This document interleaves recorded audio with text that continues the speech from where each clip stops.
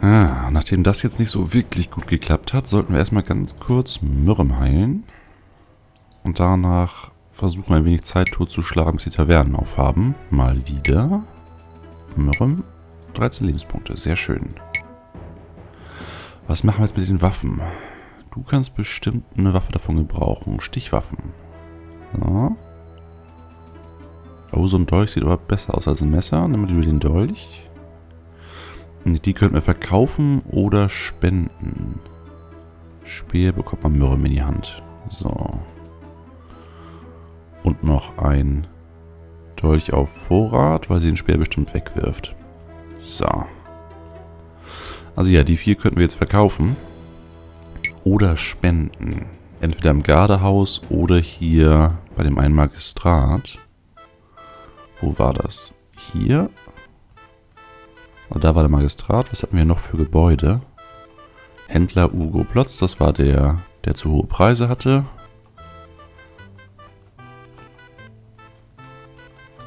Ich bin immer noch auf der Suche nach dem... Ah, Taverne Klon Ballas. Wie spät haben wir es? 13 Uhr. Nee, das wird nichts.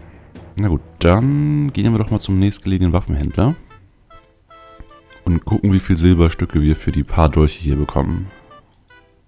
Kräuterhändler, Waffenhändler, da springen wir mal hin. Und gucken nach Westen, genau hier drauf. Direkt nebenan eine Taverne, auch sehr schön.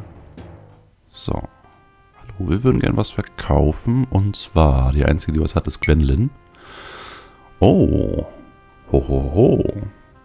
Eine Dukate pro Dolch. Das ist nicht schlecht. Falschen Quinlan. Also müssten wir jetzt noch recht häufig irgendwelche Bettler verprügeln, bis wir genug Dukaten zusammen haben für bessere Ausrüstung. Aber es ist schon mal ein Anfang. So, wir haben es 14 Uhr. Die Taverne macht auf um 16 Uhr. Das heißt, wir lungern uns jetzt hier in die Ecke. Möglichst unauffällig. Stellen Wachen auf und versuchen dann mal drei, vier Stunden zu schlafen. Nicht 18. 4. Wir regenerieren etwas Energie, das ist soweit gut und wir werden von keiner Patrouille aufgeschnappt. Sehr schön. Jetzt endlich rein da. Das wollen wir schon seit Tagen. Der Orkentod. Wir würden gerne an die Theke. Essen kann ich leider keines anbieten, aber einen verdünnten Wein will ich gerne servieren. Ja, besser als nix. Schmeckt recht gut. Dann fragen wir doch mal den Wirt aus. Ah, ah, ah, Unterkunft. Um die Ecke gibt es den kleinen Fürsten. Der ist aber bestimmt belegt. Von Egelbronn. Kennt er nicht, obwohl ich hier eigentlich in dem Stadtteil wohnen müsste. Lowang. Wenn ihr euch ein paar anständige Waffen zulegen wollt, an der Eidaler Brücke gibt es eine Waffenhändlerin. Oder fragt den ollen Bromkopf an der Ostmauer. Ustermauer? Hm. Äh, ob er eine. Ob er euch eine Laterne umdengelt. Oh, das ist wohl ein Grobschmied. Hm. Äh, Orks? Für jeden Orkenschädel, den ihr mir bringt, gibt es eine Runde Freibier. Ja, sehr schön. Nix davon war wirklich hilfreich. Eigentlich wollte ich ja nach dem Bruder von dem einen Abenteurer fragen, aber wir haben so wenig Informationen über den. Also es ist auch schwer, ihn zu finden. Setzen wir uns doch einmal an einen besetzten Tisch. Und hoffen, dass die gesprächig sind. Ihr erinnert mich an ein paar Abenteurer, die vor kurzem mal hier waren. Okay. Unterkunft? Davon weiß er nichts. Von Egelbronn? Weiß er nichts. Lowang. Wenn ihr etwas braucht, könntet ihr euch höchstens an Dragan wenden. Der hat so alle möglichen Beziehungen. Wie? Ach so, ja klar, in Alt-Lowang, direkt an der Stadtmauer. Oh, Dragan mit allen möglichen Beziehungen? Das könnte der Bruder sein von dem Abenteurer. Also in Alt-Lowang, ein anderer Stadtteil, direkt an der Stadtmauer. Jetzt müssen wir nur noch herausfinden, wo Alt-Lowang ist. Aber wir folgen einfach der Stadtmauer und gucken uns dann die Gebiete nach und nach mal an. Das war doch sehr hilfreich. Vielen Dank. Wenn ihr ein längeres Schwätzchen halten wollt, dann geht doch einfach zu Askrim Turbolzon noch breiter. Ja, den Spruch kennen wir schon. Wir verabschieden uns. Und gehen jetzt nach Altlo... Stopp. Wir gehen wieder zurück in die Taverne. Mir ist gerade was eingefallen. Da. Nein, nein, nein. Wir wollten nicht in dem Privathaus tanzen. Wir wollten in der Taverne tanzen. So. Wir setzen uns irgendwo hin.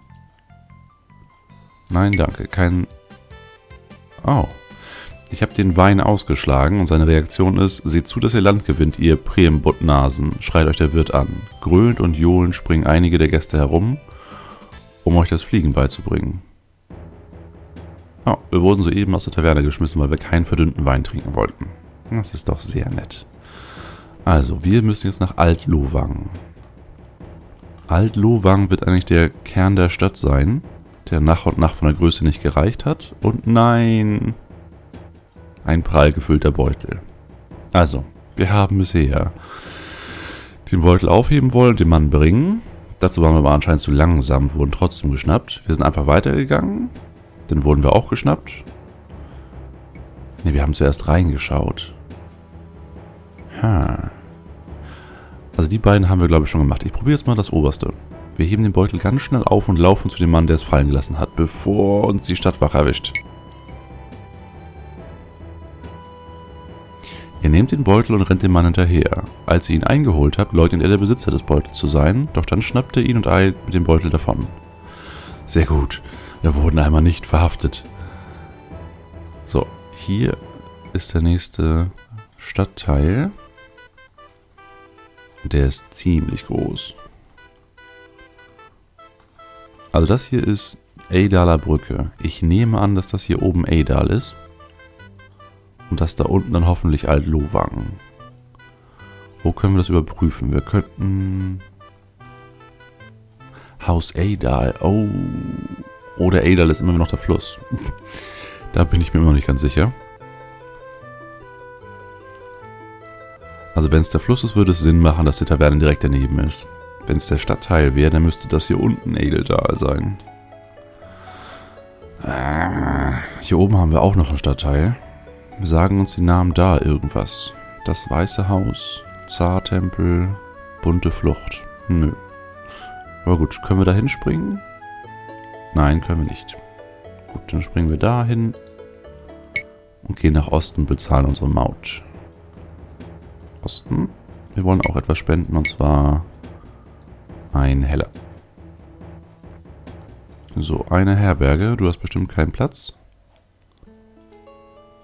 Nö. Oh, aber wir könnten sie mal auspressen. Hallo? Sind wir hier in Alt-Lowang? Lowang. Wenn ihr Waffen braucht, fragt bei Dragan in Sveltscheid. Das ist schon wieder der Name Dragan, aber diesmal sollen wir in Sveltscheid gucken. Der kann alles organisieren. Sich widersprechende Auskünfte sind immer toll, wenn man nach dem Weg fragt. Hm, hast du noch was über Lowang? Oh, sehr gut. Lowang besteht eigentlich aus drei Städten. Im Norden gibt es die Bunte Flucht, Eidal, im Süden war früher ein Dorf. Alles, was auf der Insel liegt, gehört zur Altstadt von Lowang. Achso, also im Norden gibt es die Bunte Flucht, im Süden gibt es Eildal alles, was auf der Insel liegt, gehört zur Altstadt von Lowang. Unterkunft? Nein. Orks? Unterschiedliche Städte. Ja, okay. Das soll uns reichen. Wir wollen jetzt ganz schnell auf die Karte gucken. Also im Süden ist Eldal. Da. Das hier ist Eldal. Das hier oben bitte die bunte Flucht sein. Und alles auf der Insel ist die Altstadt. Ist das hier eine Insel? Sonst würde ich eigentlich eher sagen, dass das da eine Insel ist. Aber das wäre ganz schön klein für die Altstadt. Hm, ja, gucken wir uns also hier erstmal weiter um. Verlassen. Und wir gehen hier mal links an der Mauer lang. Und halten nach Taverne Ausschau, um da nach Dragan zu fragen. Oh, was ist das denn für ein Gebäude? Erstmal finden wir einen Brunnen. Aber wir haben... Oh, Gerumans Mut steigt um einen Punkt. Das ist ja interessant. Ja, wir haben gerade einen Bonusmut bekommen, weil wir aus dem Brunnen getrunken haben. So, aber das Gebäude hier, was ist das? Halle der Macht. Eine haarige Gestalt erscheint in der Tür. Ja, was ist? Wir suchen eine Unterkunft. Bei uns in der Akademie? Ihr müsst scherzen. Wenn das alles war, dann wollt ihr mich jetzt bitte entschuldigen. Prompt wird die Tür wieder geschlossen. Gab es nicht einen Erlass, dass man jedem Unterkunft gewähren muss? Das ist ja sehr sympathisch. Aber na gut, schauen wir uns weiter um. Hier ist es keine Taverne. Da ist eine Herberge, da ist der Kräuterhändler wieder. Ein Heiler. No, was bist denn du? Die Ordensburg der Grauen Stäbe. Ihr müsst mehrmals klopfen, bevor sich drinnen etwas tut. In der Tür öffnet sich ein kleines vergittertes Guckloch. Ein älterer Mann mustert euch eine ganze Weile. Dann setzt er zur Begrüßung an. Was ist euer Begehr? Wir suchen eine Unterkunft. Da seid ihr hier an der falschen Adresse. Wir sind keine Herberge und uns stört mich länger. Ich habe zu tun. Noch bevor ihr etwas erwidern könnt, wird das Guckloch wieder geschlossen. Ja, die sind mir auch lustig. Die sagen immer, wir sind keine Taverne und keine Herberge. Aber selbst Herbergen und Tavernen nehmen uns nicht. Sonst würden wir nicht da fragen. Das sind echt alles Vollpfosten. Na gut, wir gucken uns weiter um. Ein einzeln stehendes Haus. Da klopfen wir doch mal an. Aber er will uns auch nicht reinlassen. Also von einer Insel sehe ich hier noch nicht wirklich viel. Aber dafür ist der Stadtteil auch riesig. Ha. Das könnte hier so eine Art Marktplatz sein. Noch ein Tempel. Ah, Wasser. Wasser ist schon mal gut. Und eine Taverne. Wasser und Wein. Wir stellen uns an die Theke. Und diesmal trinken wir auch gerne einen verdünnten Wein. Und der Mut sinkt wieder. So, hallo. Kennst du einen gewissen Dragan? Nee.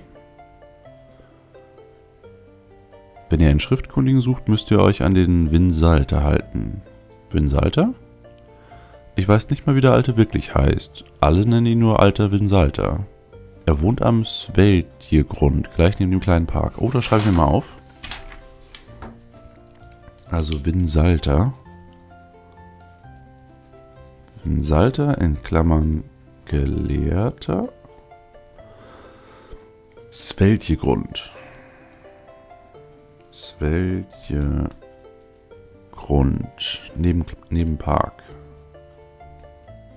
Neben Park. So. Wofür auch immer er ist. Irgendwann wird er wohl wichtig sein, sonst würde es eine extra Gesprächsoption dafür geben. Äh, Reisen. Bevor ihr einfach so loszieht, solltet ihr euch nach dem Weg erkundigen. Wir wissen den Weg. Aber da sind leider Orks im Weg.